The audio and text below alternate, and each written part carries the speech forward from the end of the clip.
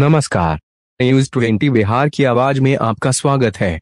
इस वक्त की सबसे बड़ी खबर बिहार के समस्तीपुर जिला से आ रही है, जहाँ जिला मुख्यालय स्थित बस स्टैंड में स्वाति कुमारी व बत्तही देवी बलात्कार व हत्याकांड के दोषियों को गिरफ़्तार करने तथा पूसा प्रखंड के माले सचिव अमित कुमार को धमकी देने के आरोपियों की गिरफ्तारी की मांग को लेकर पुलिस अधीक्षक के समक्ष जारी अनशन के पाँचवें दिन अनुमंडलाधिकारी रविंद्र कुमार दिवाकर तथा पुलिस उपाधीक्षक एस एच फकरी द्वारा अनशन स्थल पर अनशनकारियों से विस्तार पूर्वक वार्ता की गई, लेकिन तत्काल कार्रवाई करने के सवाल पर वार्ता विफल हो गई।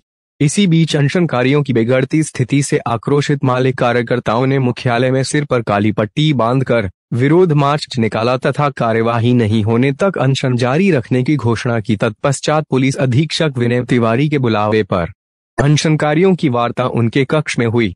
तमाम मुद्दों पर जाँच कर कार्रवाई का भरोसा जिला पुलिस कप्तान के द्वारा दिया गया।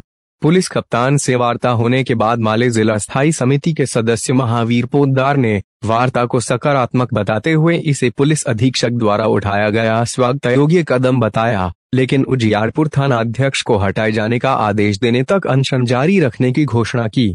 वहीं माले जिला स्थायी समिति के सदस्य जीबच पासवान ने अनशनकारियों की बिगड़ती स्थिति को देखते हुए शनिवार को ज़िले भर से महिला संगठन एवं के जिला सचिव मनीषा कुमारी एवं जिला उपाध्यक्ष प्रमिला राय के नेतृत्व में कार्यकर्ताओं द्वारा जुटकर समाहरणालय पर अनशन पर बैठने की घोषणा की गई।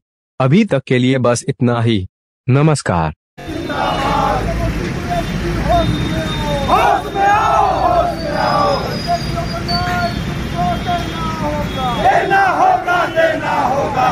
बेटी दलित की बेटी स्वामी को न्याय देना होगा देना होगा देना होगा बापा माले का काला विरोध जिंदाबाद जिंदाबाद जिंदाबाद बापा माले का काला विरोध जिंदाबाद जिंदाबाद जिंदाबाद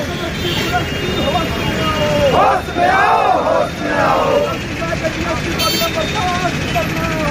करना होगा करना होगा।